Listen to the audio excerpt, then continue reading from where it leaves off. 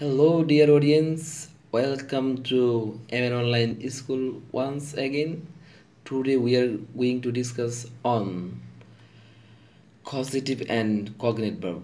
প্রিয় দর্শক আজকে আমরা আলোচনা করতে যাচ্ছি পজিটিভ অ্যান্ড কগনিটিভ ভার্বটা কি দেখেন আমরা সর্বপ্রথমে পজিটিভ অ্যান্ড কগনিটিভ ভার্বটা কি তার সংজ্ঞাটা জেনে নিব তারপর পজিটিভ অ্যান্ড কগনিটিভ ভার্ব সম্পর্কে আমরা কিছু উদাহরণের মাধ্যমে স্পষ্ট ধারণা নিব দেখেন পজিটিভ ভার্ব যার বাংলা অর্থ হলো প্রযোজক ক্রিয়া। প্রযোজক ক্রিয়া কি? যে ক্রিয়া কোনো তার কাজটা নিজে না করে অন্যের মাধ্যমে কাজটা সম্পাদন করে তাকে প্রযোজক ক্রিয়া বলা হয়।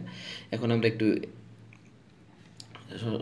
সংজ্ঞাটা দেখিনি যে সকল ভার্ব এর ক্ষেত্রে সাবজেক্ট নিজে সরাসরি কোনো কাজ সম্পাদন না করে অপরকে দিয়ে সম্পাদন করে তার কাজটা তাকে পজিটিভ বার বলে। এখানে আমাদেরকে যে জিনিসটা খেয়াল করতে হবে যে পজিটিভ ভার্বটা মূলত কি? যে যে ভার্ব নিজে তার কাজটা সম্পাদন না করে অন্যের মাধ্যমে বা অন্য কোনো উপায়ে তার কাজটা সম্পাদন করে তাকে পজিটিভ বার বলে। এখানে খেয়াল রাখতে হবে সাবজেক্ট নিজে কাজটা করে না, কিন্তু অন্যের মাধ্যমে দিয়ে কাজটা সম্পাদিত, কাজটা হয়, কিন্তু সাবজেক্ট নিজে করে না, অন্যের মাধ্যমে সম্পাদিত। এখন প্রিয় দর্শক, দেখেন, আমি কিছু উদাহরণ আপনাদের সামনে তুলে ধরবো। He shoot me a picture সে আমাকে একটি ছবি দেখিয়েছিল।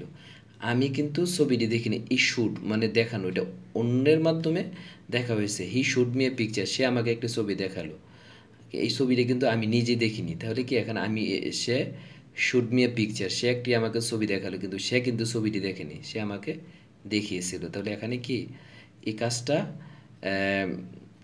আমি নিজে করিনি, অন্যের দ্বারা আমি ছবি যে দেখলাম, এটা অন্যের দ্বারা আমি এই ছবিটা এখানে দেখলাম। মাদার ফিটস আর বেবি মা তার শিশুকে খাওয়ায়।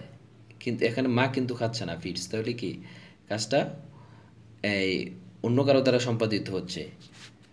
শিশুর খানার কাজটা কি? তার মার দ্বারা সম্পাদিত হচ্ছে তাই সে নিজে খাচ্ছে না। মা দার ফিটস হার বেবি মা তার বাচ্চাদেরকে খাওয়ায়, মা নিজে খাচ্ছে না। তাহলে এখানে কি প্রযোজক কাজটা হচ্ছে কি অন্য আরেকজনের মাধ্যমে। তমাল ফ্লাইস একাইট তমাল ফ্লাইস একাইট তমাল একটি গুড়ি উড়ায়। এখানে কিন্তু তমাল নিজে উড়ে না বা গুড়িটা নিজে উড়ে না। তাহলে এটা কি একটা আপনার এখানে positive verb the girl boils water বালিকা পানি সিদ্ধ করে। এখানে কিন্তু পানিও নিজে সিদ্ধ হয় না বা বালিকা সিদ্ধ হচ্ছে না। এখানে কাজটা কি? অন্যের মাধ্যমে সম্পাদিত হচ্ছে। তাহলে আমরা পজিটিভ বার্বের সংজ্ঞা দেখলাম যে যে বার্ব নিজে কাজ সম্পাদন না করি, অন্য কারও মাধ্যমে সম্পাদন করে তাকে পজিটিভ বার বলে এবং আমার এই বৃদ্ধ করা বার্বগুলো প্রমাণ করতেছে যে এখানে সাবজেক্ট সরাসরি কাজটা করে না অন্য দ্বারাই কাজটা করানো হচ্ছে। তারপর দেখেন যে কিছু বার্ব এবং পজিটিভ বার্বের রূপ আমরা দেখে নিলে একটু আমাদের বোঝার ক্ষেত্রে সহজ হবে। দেখেন, এই মূলত বার্বটা কি আর পজিটিভ বার্বটার রূপটা কি একটু দেখেন। যে verb positive verb verb positive verb no এটা হলো একটা সরাসরি ব্যক্তি জানে আমি জানি। ইনফর্ম অন্য কারও মাধ্যমে আপনি কোনো কিছু জানলে, লাই, শোয়া আর লে মানে শুয়ে দেওয়া। আপনি নিজে শুলে লাই আর যদি অন্য কেউ আপনাকে শুয়ে দেয়, তাহলে এটা হবে লে। রিমেম্বার একজন ব্যক্তি যখন নিজেই নিজের কোনো কিছু স্মরণ করে, আর রিমাইন্ড মানে অন্য কেউ স্মরণ করিয়ে দিলে মানে কি এটা, এই কাজটা অন্য কারোর দ্বারা হবে। লার্ন মানে কি শিক্ষা দেওয়া টিচ মানে শিক্ষা গ্রহণ করা, অন্য কারোর কাছ থেকে শিক্ষা গ্রহণ করা। ইট মানে নিজে খাওয়া ফিড মানে অন্যকে খাওয়ানো। এমনই সিট নিজে বসা সেট মানে কাউকে বসানো।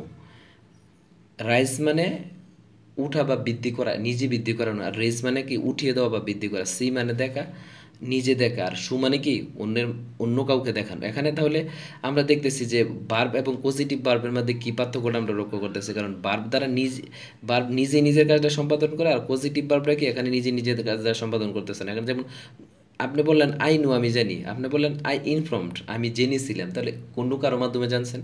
তাহলে এগুলো কি স্পষ্টত পজিটিভ বার্বের কিছু উদাহরণ। তারপর দেখেন কগনেট বার্বটা কি? কগনেট বার্বের অর্থ হলো সমজাতীয় ক্রিয়া। এটার অর্থটা কি? সমজাতীয় ক্রিয়া।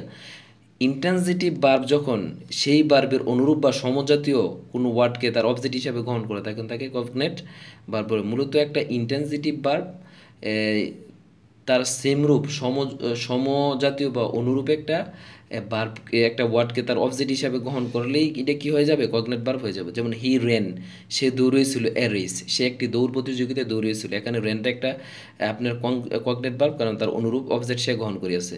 Rina sang a sweet song Rina একটি সুমিষ্ট গান গেয়েছিল। এই যে স্যাং গেয়েছিল এ সুইট সং একেবারে আপনার সাবজেক্ট তার অনুরূপ একটা ওয়ার্ডকে অবজেক্ট হিসাবে গ্রহণ করেছে। তারপর দেখেন যে I slept a sound sleep আমি ঘুমিয়েছিলাম একটা খুব ভালো ঘুম। তাহলে কি এখানে এই বার্বটা একটা কোয়াগনেট বার্ব কারণ এটা তার অনুরূপ সাবজেক্ট অবজেক্ট গ্রহণ করছে। হি ডাইট সে মারা গিয়েছিল। অ্যাপ্যাথেটিক একটা বেদনাদায়ক মৃত্যু। তাহলে যে মারা গেছিল এই বার্বটা কি তার অনুরূপ একটা সমজাতীয়, অনুরূপ একটা কি অবজেক্ট গ্রহণ করছে? হি ড্রিমড এ সুইট ডিম সে একটা অনেক সুমিষ্ট স্বপ্ন, ভালো একটা স্বপ্ন দেখেছিল। তাহলে কি সে এখানে এই ড্রিমড বার্বটা কগনেট বার্ব কারণ তার অনুরূপ সে অবজেক্ট গ্রহণ করিয়াছে।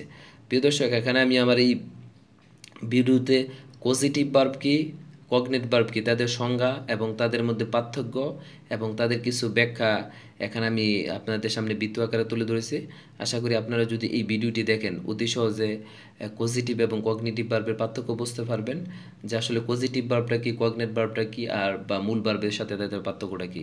বিদর্শক আমার এই ভিডিওটি দেখবেন, আমাকে অবশ্যই সাবস্ক্রাইব কমেন্ট করবেন এবং এই ভিডিওটি দেখার পর আপনাদের মাঝে কোনো মিসআন্ডারস্ট্যান্ডিং থাকলে বা কনফিউশন হলে আমাকে কমেন্টসের মাধ্যমে জানাবেন, আমি সলভ করার চেষ্টা করব। আসসালামু আলাইকুম।